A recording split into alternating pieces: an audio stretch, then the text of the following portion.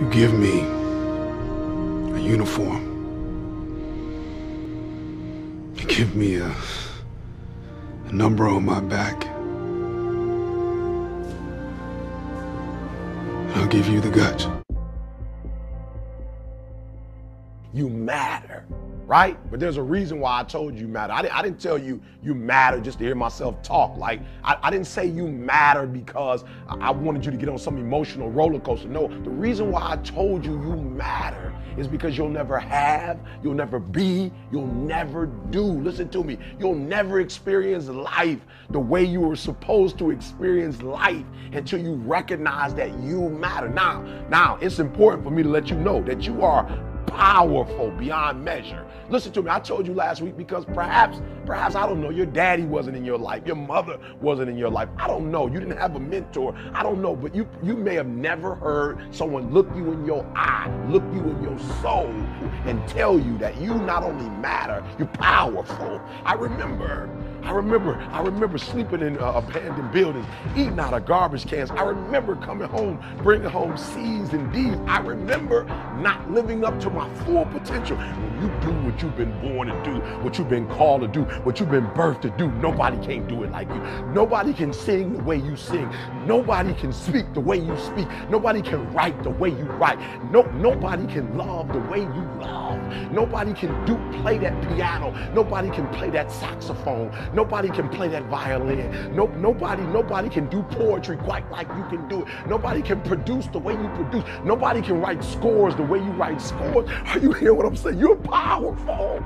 When you know within yourself that there's something you want to do, and I believe that all of us were born with a purpose, that all of us have something that we are supposed to do, that all of us have some goodness within us, and that goodness gives us a responsibility to manifest our greatness. And when you know that, you can feel it in your guts and you know that you're deliberately operating below your potential. You've gotten comfortable.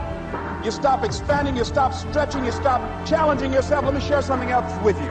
Not only is it possible for you to have your dream, but it's necessary.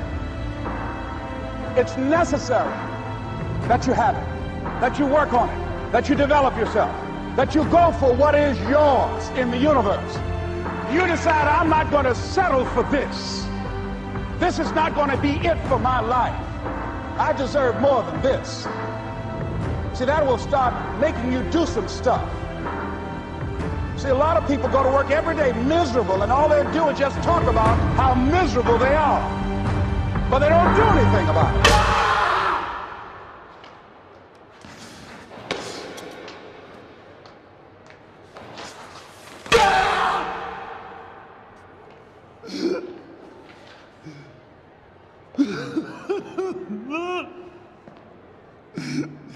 No!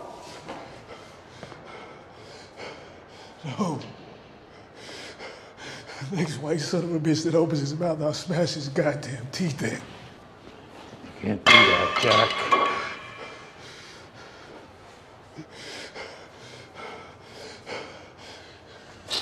I'm supposed to just let this go on. These men have to live with themselves. I have to live with myself too. Right now, I'm living a sermon out there. You don't matter now, Jack. You're in this thing. You don't have a right to pull out from the backing of people that believe in you, that respect you, that need you. So, If you fight, they won't say that Chapman forced you to.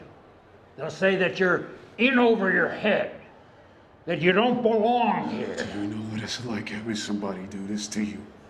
No. No. You do. You're the one living the sermon in the wilderness. 40 days. All of it. Only you. Goddamn thing I can do about it. Of course there is. You can get out there and hit. You can get on base and, and score.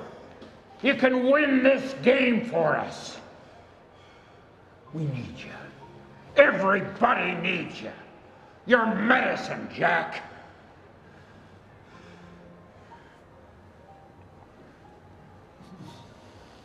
But what I've come to appreciate when you're working on changing your life, changing some bad habit, getting out of addictive situations or relationships, or working to build a dream or making a difference in our society, it's hard. Easy is not an option. It's hard living. Life is hard. That's rough. How people look at you, how they respond to you. It's very hard.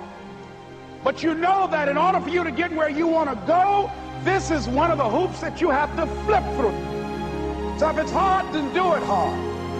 Now, what do you, how do you hang in there during the hard, difficult times? Les, you must have faith. You've got to believe in yourself. It's possible that we can have our dream. Yes, it is. Other people have done it, then we can do it. We fail a lot of times. Well, a lot of other folks fail, and eventually they came back and they succeeded. So it's possible we can have what we want. And we know that we want to get it, it's necessary that we align ourselves with people that think like we do. It's necessary we get negative, do nothing people out of our lives. It's necessary we never stop learning and growing and developing ourselves. It's necessary that we never give up, never give up, never give up. Don't ever let somebody tell you you can't do something. Not even me. You got a dream, you got to protect it. People can't do something themselves, they want to tell you you can't do it.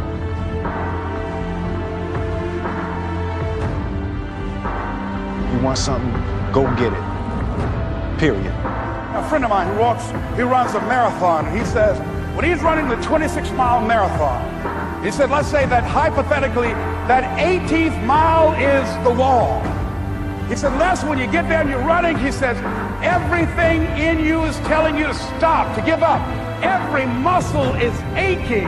And you're saying to yourself, I can't do it. I can't do it. And you just keep on and you keep on and you keep on. It seems like you're moving at slow motion.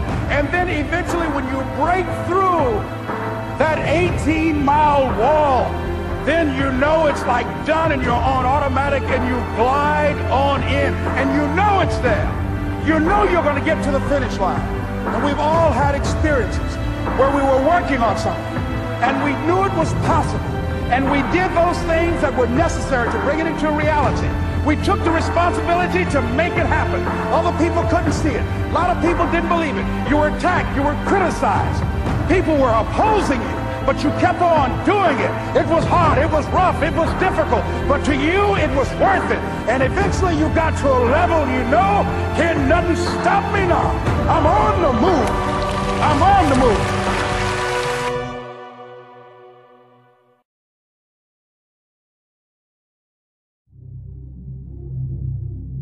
Was it as easy as it looked? No, sir. No, no, sir, it wasn't.